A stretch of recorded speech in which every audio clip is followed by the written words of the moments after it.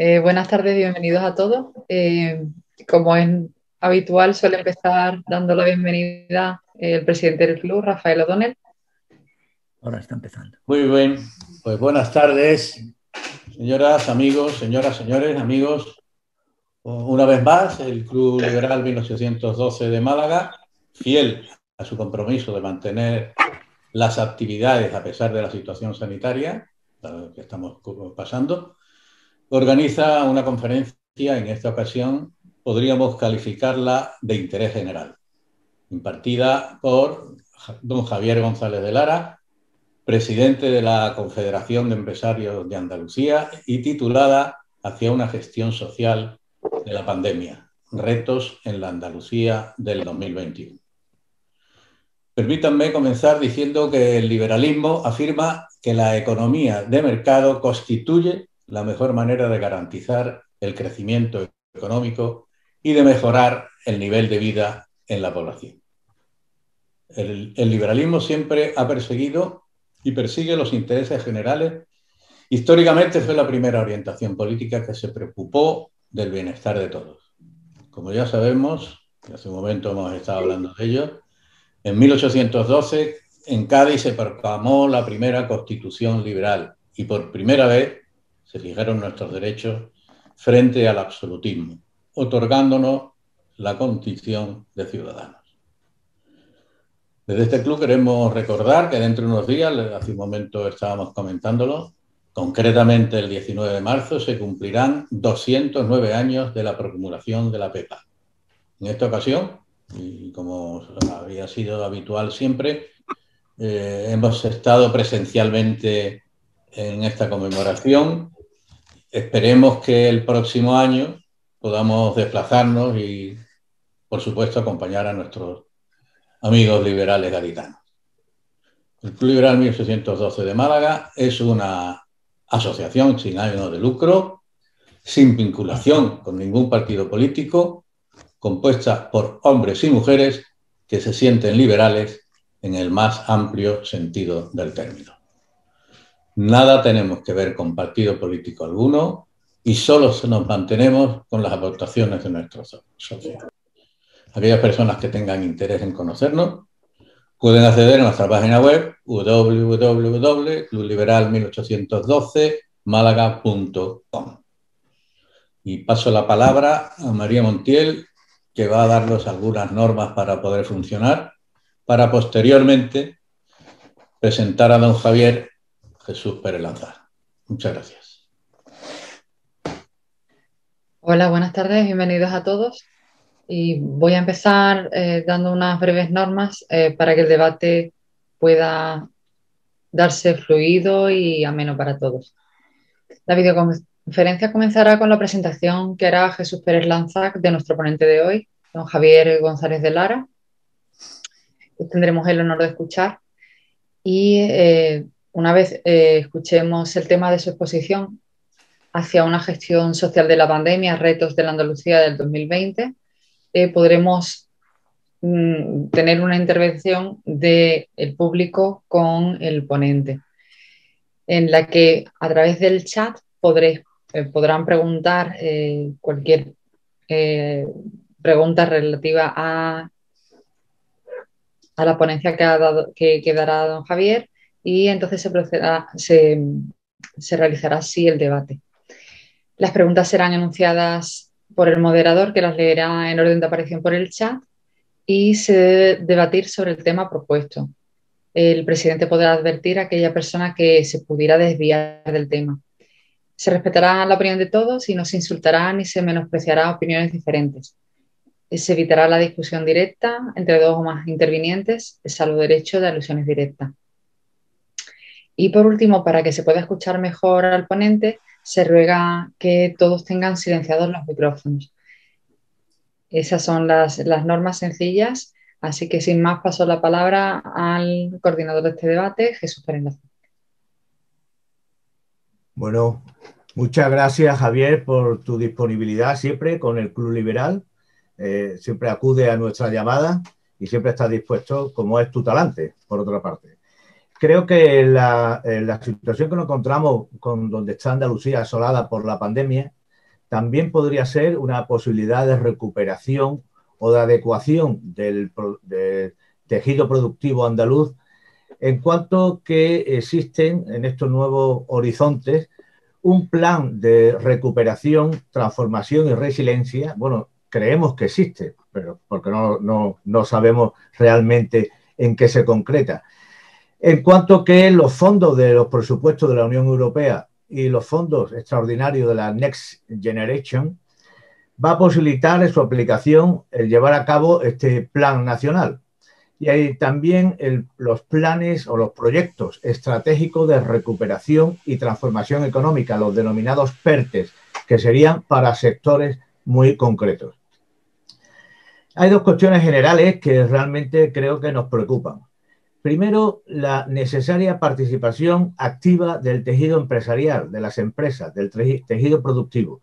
Porque la dicotomía entre público y privado yo creo que se refiere más bien a una descripción en cuanto a las administraciones, pero eh, es fundamental una colaboración, como siempre ha existido realmente, entre lo público y lo privado donde lo público sea el promotor de esas actividades privadas que son las que realmente enriquecen a las naciones y a las sociedades.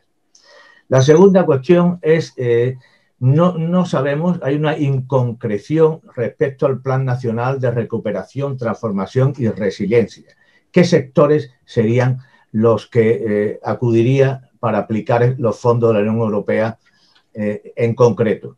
Suponemos que son los de la nueva horizonte digital, de renovación digital, energías renovables, eh, infraestructuras eh, hidráulicas, activación del empleo, salud, por supuesto, que esta pandemia ha demostrado que estamos muy lejos de un nivel óptimo en cuanto a una respuesta sanitaria a este tipo de pandemia.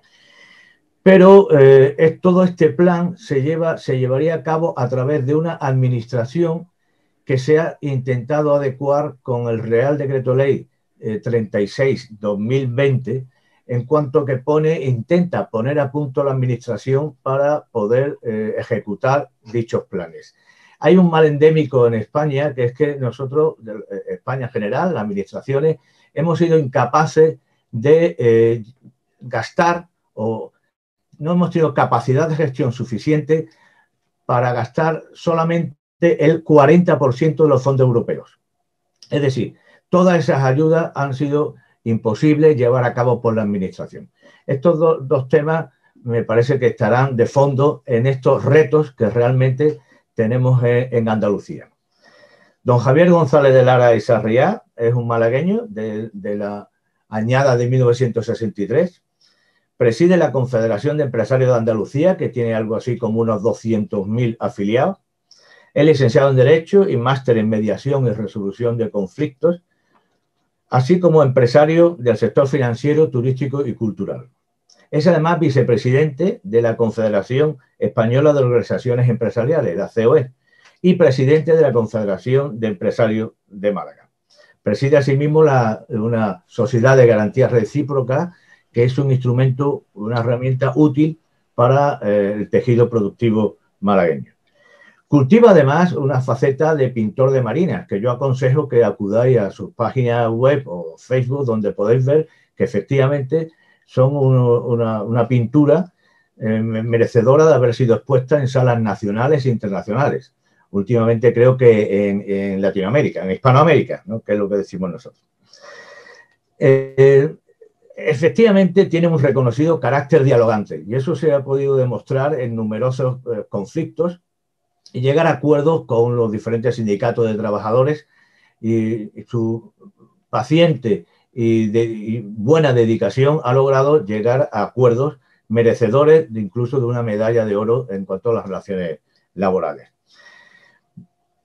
Por último, decir que vive esta pandemia insistiendo en la función social de las empresas como garante de empleo y equilibrio de las familias. Creo que la conferencia va a ser muy interesante, así que Javier, cuando quieras. Gracias.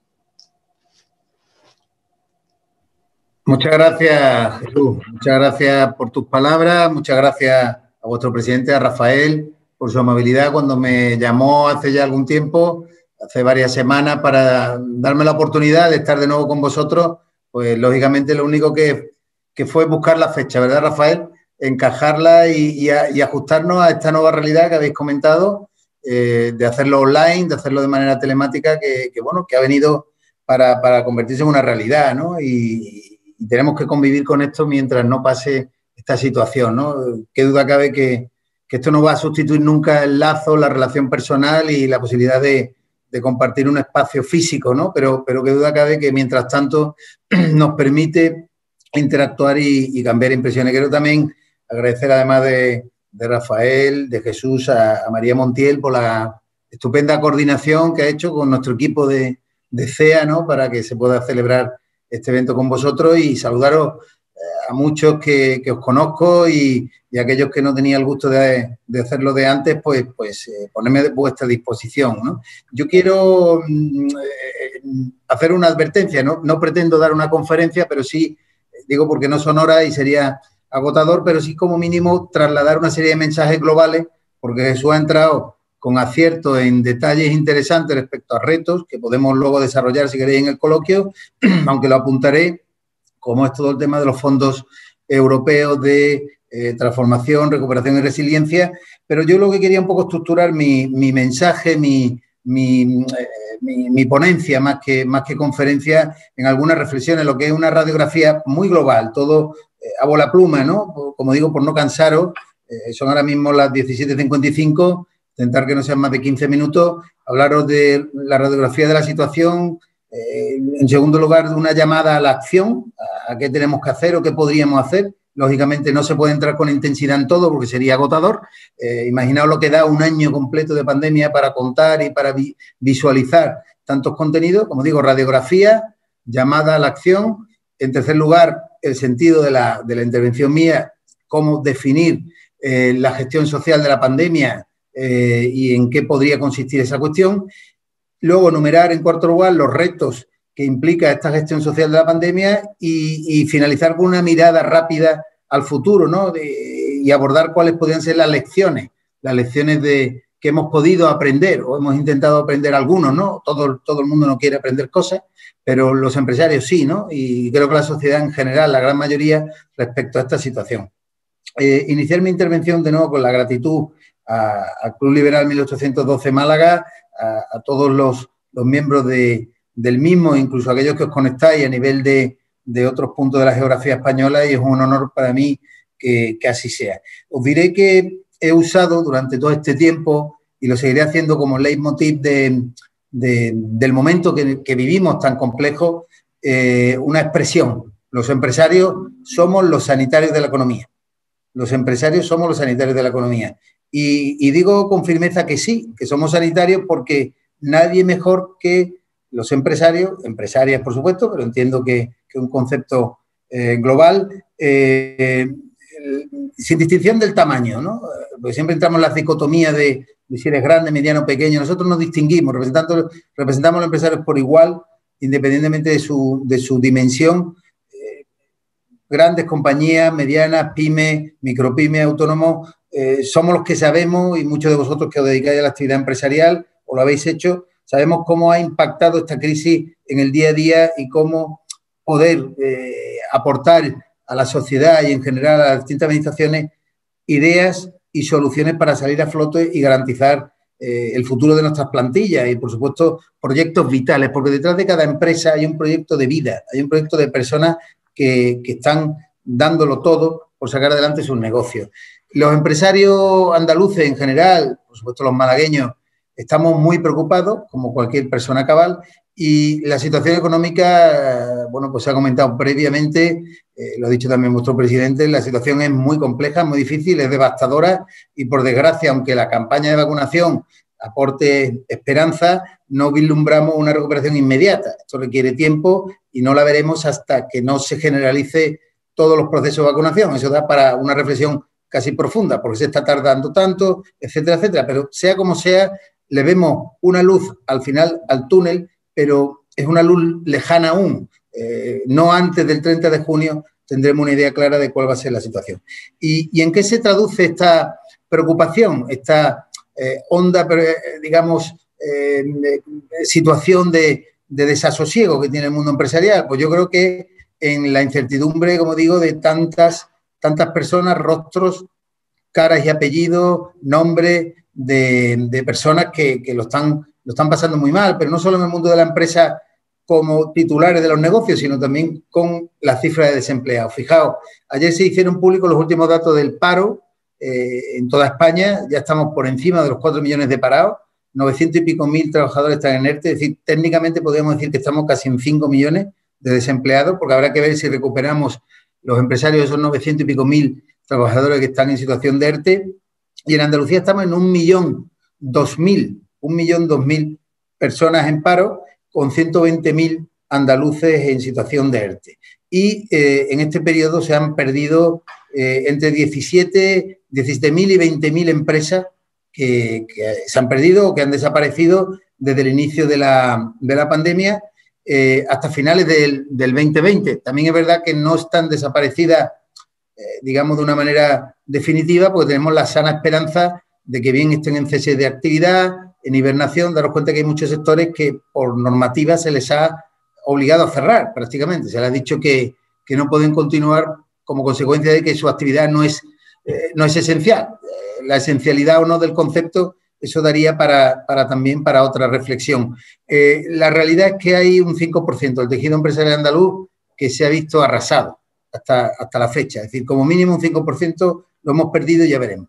Hay otro dato elocuente eh, que os transmito a modo de ráfaga. La contracción de la economía, eh, la crisis que sufrimos en el año 2008 hasta el 2013, recordáis, por objetivizar un poco y objetivar la, dicha crisis, que fue la crisis financiera e inmobiliaria, eh, hizo perder un PIB en Andalucía en cinco años mm, sobre el 10%. O sea, perdimos en cinco años un 10% de nuestro Producto Interior Bruto. Fijaos, solo en 2020, en el 2020 y en un año, eh, en Andalucía hemos sufrido una contracción del 11%. O sea, lo que no perdimos en cinco años, lo hemos perdido en uno en Andalucía con un 11% de contracción de dicho Producto Interior Bruto. Si os fijáis también otro dato, la provincia mm, peninsular que más ha caído su Producto Interior Bruto de España es Málaga, con un 17%, eh, por la importancia que tienen los sectores que podéis imaginar que son servicios, turismo, comercio. Solo hemos sido superados a nivel de, caída del PIB, por desgracia, por dos territorios insulares, en este caso Baleares, que ha caído un 27%, y Canarias, que eh, creo que alguno de los asistentes, alguno de los compañeros Club Liberal de Canarias lo puede verificar, que ha caído Canarias un 21% en términos globales. Fijaos la importancia que tiene determinados sectores económicos para que la caída haya sido tan, tan tremenda. No obstante, eh, somos conscientes, somos conscientes de que eh, mm, tenemos que pasar a la acción. Y paso a la segunda reflexión de mi, de mi intervención. Pasar a la acción es dejar atrás la situación de perplejidad y ver en qué podemos aferrarnos. En el caso de Málaga, en el caso de Málaga, sin duda es una provincia que suele entrar muy pronto en las crisis, pero suele salir también muy pronto de las mismas. Lo que ocurre es que suelen ser crisis profundas. Eh, en clave positiva, dentro de que todo esto es eh, una situación muy compleja desde el punto de vista de decir que todo es malo o todo es bueno, eh, tendremos siempre factores positivos y negativos que analizar. Yo sostengo una tesis que estamos en una crisis que no es estructural, como aquella que se desató en el año 2008.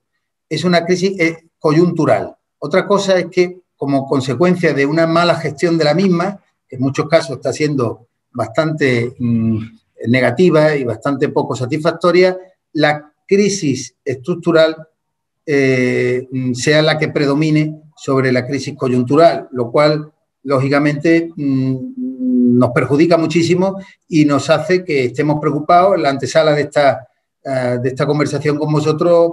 Algunos comentaban, ¿no? La situación política, institucional, hace que no se genere una confianza mínima como para que podamos comprender que la amenaza de una crisis estructural no está a la vuelta de la esquina. Sostengo que tenemos que aferrarnos a lo que sabemos hacer bien, en Andalucía, en la provincia de Málaga, por dar también un tinte eh, local a mi intervención. Cada vez que hay una crisis se habla siempre de cambiar el modelo productivo y a mí me genera cierta melancolía, porque eso es un recurso muy de determinadas tendencias eh, intervencionistas, sobre todo desde el punto de vista sindical o desde el punto de vista político, donde se pone en cuestión el modelo productivo. Y yo digo que no se trata tanto de cambiar el modelo productivo como de hacer más productivo el modelo. Eh, si tenemos una industria turística, la construcción, eh, el agroalimentario, la logística, el transporte, el tecnológico, que, ahora mismo están consolidados en, en, Málaga y a nivel de Andalucía, podría hablaros de muchísimos otros sectores, mejorémoslo, potenciémoslo y hagamos que tengan la atención adecuada.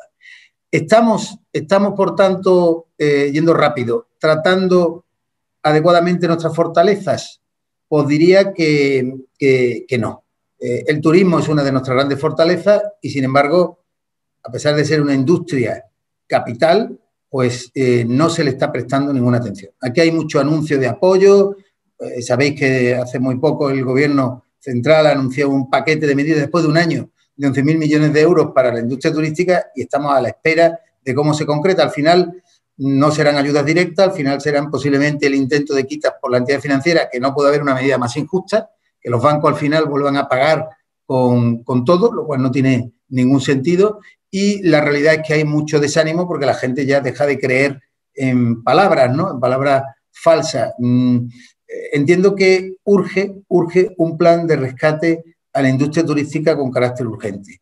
Eh, cuando se habla del turismo, hay algún ministro que con bastante desacierto dice que el turismo no genera valor añadido, no puede cometer mayor error. El turismo no solo genera en términos globales un 14% del PIB, yo creo que está rozando el 30%, porque el turismo de manera directa sí puede estar en ese 14%, de manera indirecta, con todos los subsectores, puede estar rozando eh, esa cifra que ronda ese 30%. Desde luego, en Andalucía y en la provincia de Málaga os podéis imaginar, sector servicios, como puede ocurrir en Canarias o puede ocurrir en Baleares, os puede estar rondando un 70-72% de su Producto Interior Bruto, lo cual es muchísimo. Y dentro de los servicios está turismo, eh, hostelería, está por supuesto la, todo lo que es el comercio, la logística, muchísimos subsectores.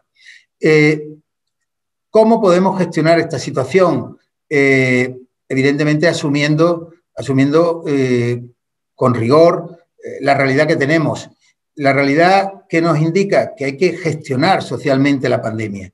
Y estamos siendo conscientes de la dimensión de la misma. Eh, estamos a la altura de lo que este momento nos ha tocado vivir. Yo diría, me atrevería a sugeriros que el siglo XXI comenzó el año pasado, en el 2020, más que en el año 2000, ¿no? Creo que ha habido un cambio de época radical eh, como consecuencia de la pandemia y el, y el, siglo XXI va a ser corto, va a ser de 80 años, pero 80 años intensos. Los que lo puedan vivir eh, van, a, van a ver una transformación mundial enorme donde se están cambiando muchísimos paradigmas y eso da para muchas reflexiones. Pero creo que no estamos queriendo comprender lo que esto significa, no solo desde el ámbito económico, sino desde el ámbito político, sanitario, social, poner el orden que queráis, ¿no? Pero realmente eso da para, para profundizar luego, si queréis, en, la, en, el, en el, debate. ¿no? Yo creo que mm, no debemos enfrentar lo sanitario con lo económico. Durante los primeros meses parecía que con el confinamiento, con determinadas decisiones que iban posiblemente con buena intención, al final se ponía la actividad económica como responsable de muchísimas de las situaciones que hemos vivido. Se ha visto que no es así. Eh, hay que huir de la falsa dicotomía entre las dos esferas de la realidad, imprescindible para el desarrollo de nuestros hogares, de nuestras familias, de esa función, de esa gestión social de la pandemia, lo decía Jesús antes, ¿no? Esa colaboración público-privada, cómo, cómo, conseguimos en determinado tipo de mentes eh, ideologizadas transmitir el mensaje de que el sector privado eh, es un sector que genera riqueza, bienestar y progreso. Es fácil llamarte progresista cuando no has creado un empleo en tu vida. Eh, el verdadero progreso está en generar empleo a las familias, en generar, digamos, capacidad y riqueza para que la economía, para que tu entorno se pueda transformar. Por lo tanto, creo que el ciudadano, como consecuencia de tanta ideología, como consecuencia de la mala utilización de los principales factores que deberían resolver esta, esta crisis, esta pandemia, pues está perdiendo la confianza en el sistema. Y creo que tenemos una profunda descoordinación entre administraciones. Creo que no os digo nada nuevo. Diríase que, que en un momento determinado el gobierno central, el Estado, asume las competencias con carácter exclusivo, eh, lo que es el mando único y posteriormente, por aquello de no sufrir desgaste, lo traslada a las comunidades autónomas para que al final tengamos 17 regímenes diferentes con competencias transferidas, por supuesto, pero cada uno, y que nadie me malinterprete, pues sin delimitar unas estrategias comunes. Se reúnen cada X una vez a la semana o cada 15 días para hablar de, una, eh, de, una, de un consejo interterritorial para establecer ciertas pautas, pero aún no sabemos ni siquiera si esas pautas van a ser de obligado cumplimiento para Semana Santa, por decir algo que es la última semana de este mes de, marzo. Por lo tanto, eh, es lógico que ese desánimo, esa esperanza también cunda en determinados sectores empresariales que veréis que se movilizan, que salen a la calle, como pasa con la hostelería fundamentalmente, los autónomos, el comercio, donde eh, hay, que, hay que atenderlos adecuadamente. Por eso es lo de la gestión social de la pandemia, ¿no? Eh, hay que poner la salud en el primer lugar, en el frontispicio de todo, pero luego, mm, evidentemente, hay que intentar darle un lugar de privilegio a los que son, digamos, los sanitarios de la economía, que son los empresarios, los autónomos a los que me refería. Digo esto porque se han producido cierres de actividades, como digo, no esenciales, eh, en Málaga muy recientemente, con limitaciones de horario, limitaciones de aforo que eran poco comprensibles, ¿no? Eh, digamos, lugares de actividad económica que han estado bajo sospecha, eh, como digo, cuando luego se ha demostrado que normalmente en los espacios empresariales los rigurosos controles COVID han sido bastante exigentes y en aquellos otros donde puede haber por el trato y la relación personal un contacto más directo, pues han tomado medidas bastante adecuadas. Otra cuestión luego es el comportamiento social. Ya sabéis que luego mm, las personas tienen una tendencia que es ver, sean jóvenes o menos jóvenes, un comportamiento social en su domicilio o donde sea y donde se ha visto que el gran volumen de contagios que se han podido producir ha sido precisamente en esos, en esos espacios. Yo creo, por tanto, que eh, debemos tener sentido de Estado en este momento, que es lo que no hay en este país, tener una visión de la gestión social de la pandemia, escuchando la voz de los empresarios, escuchando la voz de mm, aquellos sectores que quieren aportar y que quieren poner su granito de arena para sacar adelante este país y esta comunidad autónoma. Eh, y, por supuesto, aplicando ayudas que estén a la altura de los sacrificios que se están haciendo y que se van a seguir haciendo durante mucho tiempo. Es decir, sensibilidad, sensibilidad política ante la frágil situación del tejido empresarial y donde en esa, esas ayudas directas, toda esa serie de cuestiones, pues se puedan aplicar. Eh, ¿Qué retos deberíamos asumir en esa gestión social de la, de la pandemia? Voy muy ágil, muy rápido. Bueno, yo creo que, por un lado, decía eh, Jesús con acierto, tenemos lo que son los fondos Next Generation, tenemos ese, ese anhelo ¿no? de que esos fondos europeos puedan funcionar. Eh, ojalá sea así. Yo tengo todavía mis dudas porque no hay regulación normativa eh, más allá del decreto de, que se promulgó el 31 de diciembre del pasado año.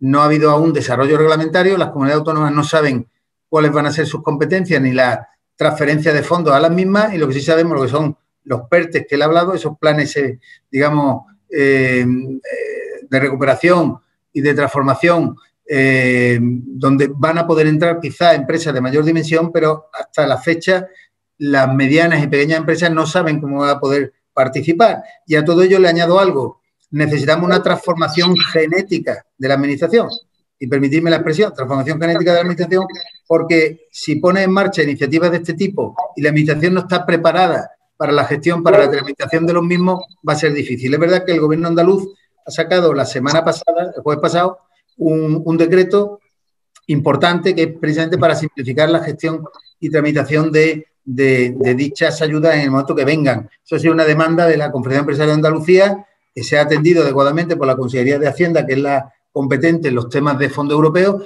pero hasta la fecha te reconoce la misma Consejería de Hacienda que desconocen qué fondos van a venir, cómo van a venir, quién los va a administrar y posiblemente queden en Moncloa o con un reparto de algún tipo de interés político. Tenemos que intentar en esos retos seguir presionando desde el punto de vista de las ayudas, ayudas que han de ser directas y diseñadas por sectores, como os decía, eh, que haya un compromiso creciente por parte de las distintas administraciones de que sean realidad las promesas que se hacen. Al final se prometen muchas cosas, pero no se, no se ponen en marcha. Y, por ejemplo, un tema que no quiero olvidar, que es todo lo que está relacionado con la transición digital. Eh, es importante que ayudemos a las empresas a transformarse, no con un tema simplemente de la, de la, bueno, de todo el proceso de videoconferencia, de una digitalización superficial, sino aprovechar la pandemia como oportunidad. También lo decía Jesús. Hay que poner la atención, voy muy rápido, eh, la atención con muchísima intensidad en nuestros jóvenes. Poner el foco en el desempleo juvenil. Quedaros con esta idea, por favor. Eh, no quiero dejar de compartir con vosotros mi enorme preocupación respecto a algo que no se está hablando. Eh, y debemos darle, por lo menos, una esperanza, una, un inicio de solución, que es el desempleo juvenil. Eh, el drama de nuestros jóvenes. Fijaos, la tasa de paro en Andalucía de menores de 25 años está en el 52%. En el 52%. Uno de cada dos chavales jóvenes de Andalucía está en el paro. Es una generación atrapada en un periodo de entrecrisis y lo digo claramente, una generación atrapada en ese periodo de... Eh, y bueno, sufren una amenaza, que es la cronicidad del desempleo y de la falta de oportunidades. ¿no? Yo creo que corremos el peligro de atomizar a la juventud y radicalizarla. Todo lo que estamos viendo en muchos territorios de España en las últimas semanas no es fruto de la casualidad. Aparte de esa radicalidad auspiciada por algunos sectores que todos sabemos que son antisistemas, en el fondo están eh, echando combustible a un caldo de cultivo. Hay mucho paro, no se habla de medidas que puedan dar eh, cierta proyección, incluso planes de empleo juvenil que puedan tener ocupada a un gran volumen de, esa población y creo que estamos al límite de una fractura social, lo digo con franqueza. Si no somos capaces de abordar, además de la pandemia eh, sanitaria, la pandemia económica y social. Eh, hay que atender a los jóvenes y no se habla de ellos. No se habla de ellos y para mí es un asunto prioritario porque deben ser la palanca precisamente de recuperación post-COVID. O sea, si alguien tiene que ayudar, los jóvenes nos tendrán que ayudar a nosotros. Yo creo que nosotros hemos hecho ya bastante en la vida y vosotros, algunos que os veo que pintáis canas, mucho más. Habéis hecho no todo, habéis construido este país con enorme orgullo. Como, por eso os decía que la transición digital también necesita a los jóvenes, porque son nativos digitales y deben ser protagonistas en esa eh, transición a la digitalización de nuestra economía y romper lo que es la llamada brecha digital. Eh, cuando se habla de todos estos temas de género, el otro día hablaba, es que la brecha de género es muy importante en el ámbito digital. Yo con todo mi respeto no voy a entrar en eso. Para mí es mucho más potente romper la brecha digital en el ámbito generacional y la brecha digital en el ámbito urbano versus rural nos encontramos con territorios, territorios de Andalucía y de toda España que en el ámbito rural no tienen acceso ni a la banda ancha ni a ámbitos, digamos, de digitalización fáciles, que lo que va a convertir en los próximos años en personas absolutamente eh, distanciadas de, ese proceso de integración que va a ser el ámbito de la digitalización. Eh, podría hablar de muchísimas cuestiones, por ejemplo, de cómo ayudar a las empresas a crecer en densidad, en tamaño, en Andalucía tenemos más de 500.000 empresas, pero se habla poco de esas ayudas directas que puedan permitir su supervivencia y, por supuesto, potenciar su crecimiento y su eh, dimensión. Eh, apoyar la internacionalización de nuestras empresas. Andalucía ya es la segunda comunidad autónoma de España en, volumen total de, exportaciones, eh, solo detrás de Cataluña, incluso por delante de Madrid, lo cual dice que, que a pesar del COVID pues hemos hecho un trabajo importante con un sector fundamentalmente agroalimentario, también energético, minero, etcétera, que ha hecho que las exportaciones andaluzas superen los 30.000 millones. Si sabemos hacer eso, ¿por qué no lo potenciamos? Hagámoslo e intentemos que, intentemos que Andalucía siga avanzando en esa internacionalización de sus empresas. Y ya voy concluyendo a modo de, finalización. Eh, mirada al futuro, lecciones que hayamos podido aprender. Yo creo que hay cosas positivas lógicamente queda mucha tarea por hacer en este tiempo, pero creo que Andalucía eh, ha aprendido a ser más solidaria, ha, tomado mayor conciencia de la importancia de la inversión en salud, del apoyo a los profesionales, por supuesto, sanitarios, ha reconocido también la importancia de la colaboración público-privada a la que se refería Jesús, ha aprendido eh, cuán estratégicas son las sinergias entre lo público y lo privado. Creo que que me ha leído el pensamiento porque era un tema que para mí es vital, capital, pero parece que romper prejuicios. Eh, aquí el sector privado siempre está bajo sospecha si te dedicas a la educación o a la sanidad. Eh, ¿Por qué? Porque vas está en el sector privado y, evidentemente, pues, pues, ¿qué queréis que os diga? Eh, hay una ideologización de la actividad empresarial donde si estás en esos ámbitos, como en otros muchos, pues está bajo sospecha. Yo creo que a pesar de ello, se ha reconocido en nuestro país en general, lo habéis visto, vosotros habéis sido testigos, pero también en Andalucía el reconocimiento de la función social de la empresa. Eh, las empresas como garantes de, eh, del equilibrio en los hogares y en el empleo y sobre todo a tantísimos empresarios, empresarias que independientemente de su tamaño y dimensión se han comprometido con su entorno, con su territorio. Y yo creo que hemos aprendido también eh, algo importante en esta pandemia, ¿no? que los empresarios somos parte de la solución al problema. Somos parte de la solución en esta crisis y que la voz empresarial eh, debe ser atendida. Eh, no siempre, no siempre se nos ha escuchado con, con, cariño, con atención, depende también del territorio, de la comunidad autónoma, a nivel nacional nos está costando muchísimo trabajo, hemos llegado a acuerdos importantes, como ha sido todo el tema de los ERTES, hemos llegado a acuerdos para todo el tema de las líneas ICO, pero que duda cabe que la presión fiscal ha sido brutal. Eh, no ha habido piedad respecto a la gestión fiscal de la pandemia, más allá de cuestiones de aplazamiento, fraccionamiento, no ha habido ningún tipo de condonación fiscal, eh, salvo exoneraciones concretas en cotizaciones sociales, precisamente en empresas que están en ERTE. Y eh, termino, termino mi intervención hablando un poco de que alcemos también la mirada, de invitaros a todos a mirar a Europa, a pesar de las dificultades, eh, sé que vosotros como liberales pues tenéis una visión siempre abierta, como yo, me podía sentir también liberal como, como todos y cada uno de vosotros, desde el punto de vista de, tener una visión integradora de lo que debe ser no solo esta gran comunidad que es Europa, que está cometiendo sus errores como es natural, en muchas ocasiones en la gestión de la propia pandemia, pero que tenemos que intentar quedarnos también con, los mensajes positivos. Por ejemplo, la presidenta de, de, de la Comisión Europea, Ursula von der Leyen, pues eh, nos, ha, nos, ha, hablado de, la construcción de una nueva Europa, ¿no? Le llama la Bauhaus europea, ¿no? Recuperar ese espíritu explorador de la mítica escuela de arquitectura alemana para la República de Weimar, ¿no? Para renovar el mundo, el estado de cosas, ¿no? Eh, y bueno, y tras eh, el cataclismo que ha significado toda esta pandemia, pues intentar recordar que somos vulnerables, que hemos aprendido de nuestra historia, de las últimas eh, crisis y guerras que ha vivido nuestra tierra, pero que duda cabe que tenemos mucho que hacer y construir entre todos nosotros. Alumbrar un nuevo diseño de Europa, eh, cimentándolo en, criterios de solidaridad, pero también de sostenibilidad, ¿no? A ver si somos entre todos capaces de, conseguir eh, construir una realidad distinta y, por supuesto, huir de tanto prejuicio y huir de tanta ideología. pongo el ejemplo de Italia.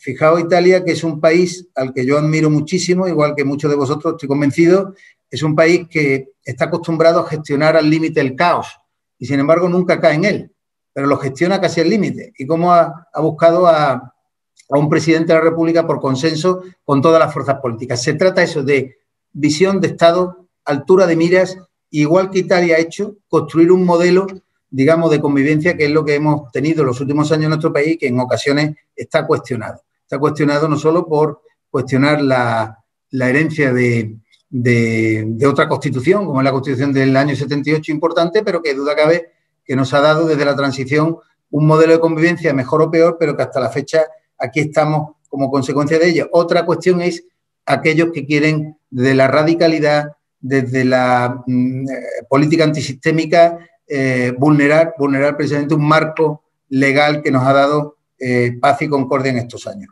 Eh, nada más, transmitiros que para mí es un placer estar con vosotros, que habría que hablar muchísimo. No quiero extenderme, eh, como digo, mucho más de lo preciso y si lo he hecho, pido mis disculpas porque lo que interesa sobre todo son vuestras preguntas y vuestras aportaciones. Así que muchísimas gracias. Gracias. Te felicito, ha sido clarificador y me ha encantado a mí personalmente.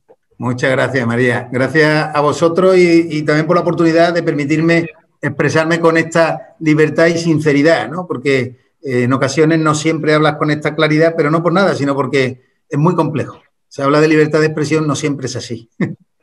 Javier, eh, yo creo muchas gracias por tu intervención, por la respuesta, por la agilidad, por la franqueza y yo creo que estamos en un momento que hay que hablar claro. No puedo estar más de acuerdo, así que no nos rendimos. Por favor, Javier. entre todos, adelante. Muchas gracias. Yo también te doy las gracias, incluso personalmente, porque siempre me has atendido, por supuesto, a nuestro club y me has demostrado que efectivamente estás dispuesto y a, y a- a las pruebas me remito. Enhorabuena porque ha sido una conferencia muy interesante y que ha despertado un interés mayor del que yo creía, porque has estado muy acertado en tus respuestas y en tu... En tu es, es más, yo he anotado aquí un- una serie de respuestas que has dado, frases que has dicho, que me parece importante, eh, y sobre todo desde, desde, desde el punto de vista del Club Liberal, que como tú has dicho, somos sociedad civil y lo único que hacemos en este caso, sin duda, es aportar un granito de arena, porque la sociedad civil en general tiene que ser la que fuerce a, como tú bien has explicado, a que esta situación pueda ser eh, eh, comprometernos en, en general. Y eh, las frases que yo he anotado son una que dice, los empresarios somos los sanitarios de la economía. Me parece absolutamente acertado porque es así. Hay que tener sensibilidad política. La atención a nuestros jóvenes que has incidido ahora en tu última, en tu última intervención, diciendo que es absolutamente necesaria esa, esa compromiso con los jóvenes para, para que no pase lo que tú has de- dicho muy bien. Eh, hay, eh, eh, has dicho en relación con lo que ha ocurrido en esta pandemia que se ha aprendido a ser más solidario. Estoy absolutamente de acuerdo.